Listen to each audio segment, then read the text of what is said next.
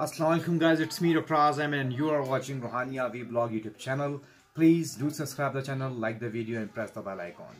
Friends, आज हम बनाएँगे पिज़्ज़ा और पिज़्ज़ा में क्या रेसिपी यूज़ होती है क्या इंग्रेडिएंट्स यूज़ होते हैं सब आप सब आपको बताएँगे किस तरीके से स्टेप बाय स्टेप उसको हम प्रोसीड करते हैं वो पूरा प्रोसीजर हम आपको बताएँगे और एंड में जब पिज़्ज़ा बन जाएगा तो हम आपको खा के दिखाएँगे क्योंकि आप लोग दूर हैं खा नहीं सकते। खाएँगे तो हम ही खाने का टेस्ट भी हमें ही मिलेगा। सो so, लेकिन आपको देखने को ज़रूर मिल सकता है। आप प्लीज़ वीडियो को पूरा देखिए एंड तक देखें और वीडियो को लाइक ज़रूर कीजिएगा शेयर ज़रूर कीजिएगा सब्सक्राइब ज़रूर कीजिएगा और बेल आइकन अभी दबा दीजिए। सी यू स्टेट यून बाय बाय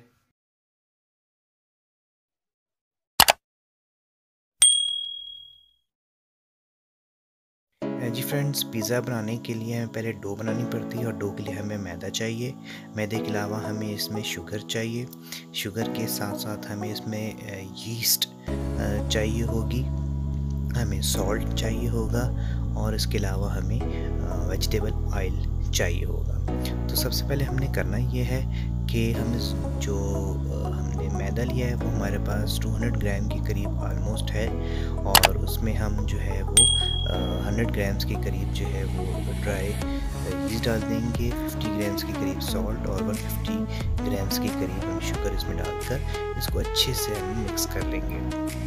इसको अच्छे से मिक्स इसलिए करेंगे ताकि कोई भी इंग्रेडिएंट जो है वो सेपरेट सेपरेट जो है वो विजुअल ना हो। तो इसको मिक्स कर लेंगे। इसके बाद हम इसके अंदर जो वाटर है, हमें 200 एम चाहिए। उनमें से हम 100 एम हम अभी डाल देंगे और उसको 50 एम हम अभी डाल देंगे इसके अंदर और इसको अच्छी तरीके से आपने मिक्स कर लेना है। लेकिन जो मेजरमेंट्स है, उसका बहुत ज़्यादा ख्याल रखिएगा। तो हम पहले 50 एम हम अभी डाल लेते हैं और इसको अच्छे से मिक्स करना शुरू कर देंगे। जब ये फुल अच्छी तरीके से मिक्स हो जाएगा तो remaining one fifty M fifty M हम इसमें और डाल देंगे वाटर और ये वाटर ल्यूक हम ये डाल देंगे। अब इसको हम अच्छी तरीके से, बहुत ही अच्छी तरीके से मिक्स कर लेंगे ताकि जितना भी मटेरियल है, वो होमोजनाइज हो जाए। उसके बाद हम इसको हाथ से गूंदना शुरू कर देंगे, जैसे हम आटे को गूंदते हैं। और जब तक ये बहुत ज़्यादा सॉफ्ट ना हो जाए, तब तक हम इसको घूमते रहेंगे और जब ये सॉफ्ट हो जाएगा तो उसके बाद हम इसमें जो है ऑयल डालेंगे और ऑयल का एक टीस्पून हम डाल देंगे, जैसे ये मैं डाल रहा हूँ और इसके बाद इसको फिर दोबारा से भूनना शुरू कर देंगे। जब ये फुल सॉफ्ट हो जाएगा और आलमोस्ट इसको फुल सॉफ्ट होने में तीन से चार मिनट या पाँच मिनट जो है वो एटलीस्ट लगेंगे। जब इसको आप पूरी अच्छी तरीके से गूंद लेंगे, उसके बाद फिर आपने इसका जो रिमेनिंग वन टीस्पून बाकी है, जो बचने आने वाला, वो भी इसके अंदर आप अच्छे तरीके से मिक्स कर देंगे। लेकिन इसको शर्त ये है कि आपने पहले ही जो डो है, जो आपका मिक्सचर बन चुका है, इसको बहुत अच्छे तरीके से मिक्स करना है ताकि कोई क्रैक्स ना हो। उसके बाद आपने जो रिमेनिंग टीस्पून है वन टीस्पून वो भी आप इसके अंदर मिक्स कर देंगे और उसके बाद इसको हम किसी शॉपर में जी फ्रेंड इस तरीके से हम इसको पैक कर लेंगे शॉपर में, क्योंकि मैंने जो आपको डो बनाना सिखाई थी, वो जस्ट एक पिज़्ज़ा एक लार्ज पिज़्ज़ा की थी, और मैंने काफ़ी दो या दो से ज़्यादा पिज़्ज़ा या तीन पिज़्ज़ा बनाने हैं, इसलिए मेरे पास इस टाइम अमाउंट ज़्यादा है। तो उसको राइस जब तक ये डो होती है, हम इसकी जो केचप है या सॉस है, वो रेडी कर लेते हैं। सो गाइस ये देखें सॉस मैंने जो है वो बर्नर पे रख दी है, और सॉस बॉईल हो रही है, जब तक ये बनेगी, हम कुछ इसकी वेजिटेबल्स काट लेते हैं। ये वो वेजिटेबल्स हैं जो हमने अपने पिज़्ज़ा में यूज़ करनी है। इसमें टमाटोज़ हैं और इसमें हमारे पास जो है वो शिमला मिर्च हमने काट ली है कुछ। आप भी इसी तरह शिमला मिर्च और टमाटोज़ वगैरह काट के इसमें यूज़ कर सकते हैं। फ्रेंड्स अब हमने जो पिज़्ज़ा में चिकन यूज़ करनी है, उसको हम फ्राई कर लिया है थोड़ा सा और अब हम उसके जो है फाइबर्स हैं उनको सेपरेट कर रहे हैं ताकि इसकी जो रेशे हैं, वो ड्यूरिंग पिज़्ज़ा जब हम खाएँ तो हमें रेशे उसके मिलें खाने के लिए। बहुत ही छोटा सा एक प्रोसीजर होता है ये भी और उसको भी हमने परफॉर्म ड्यूली करना होता है। फ्रेंड्स, अब ये चीज़ है और ये चीज़ हमने यूज़ करनी है अपने पिज़्ज़ा में और जब तक चीज़ ना हो पिज़्ज़ा में, पिज़्ज़ा का मज़ा नहीं आता।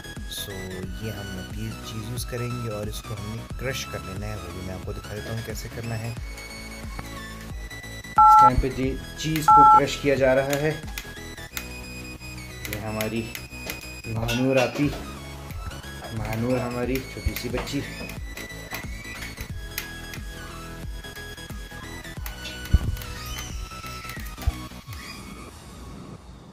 सो फ्रेंड डो हमारी राइज़ अप हो चुकी है और काफ़ी ज़्यादा स्वेल हो चुकी है। uh, जो शॉपर में जो हमने डो रखी थी वो मैं आपको दिखाता हूँ। ये देखें जी जो शॉपर में डो रखी थी वो काफ़ी ज़्यादा स्वेल हुई है। इवन के शॉपर मुझे खोलना पड़ा है फाड़ना पड़ा है इतनी ज़्यादा स्वेल हो चुकी है। ये डो और अच्छी डो की जो प्रिपरेशन है जी फ्रेंड्स डो की जो क्वालिटी की जो आइडेंटिफिकेशन होती है, वो इनके बबल्स से होती है।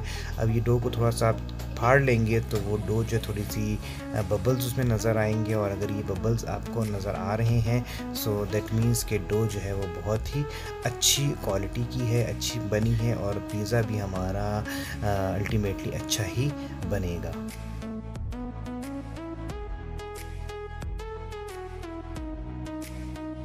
सो फ्रेंड्स तमाम इंग्रेडिएंट्स हमारे रेडी हो चुके हैं। हमारी चिकन जो हमने फ्राई की थी, जिसके हम फाइबर्स हमने निकाले थे, वो रेडी हो चुकी है। बहुत ही प्यारा सा गोल्डन सा कलर है। इसके अलावा हमारी जो सॉस थी, वो रेडी हो चुकी है। हमारी वेजिटेबल्स थी, वो भी रेडी हो चुकी हैं। और जो ऑर्गेनो था, वो भी हमारे पास अवेलेबल है। और इसके अलावा हमारे पास उसके डिफरेंट जो है, दूसरे जो इंग्रेडिएंट्स तमाम हमारे पास अवेलेबल हैं। अब हम जो है, चीज़ भी आपको नज़र आ रही है, ये इसकी डो हमने बेल ली है और ऐसा रोटी की तरीके से आपको ये नज़र आ रही होगी बिली हुई अब इसके ऊपर हम जो है, गार्निशिंग कर लेंगे तमाम चीज़ों की और गार्निशिंग करने के बाद हमने इसको जो है रख दिया है फ्राइंग पैन के अंदर और अब ये प्रिपेयर हो रहा होगा और आपको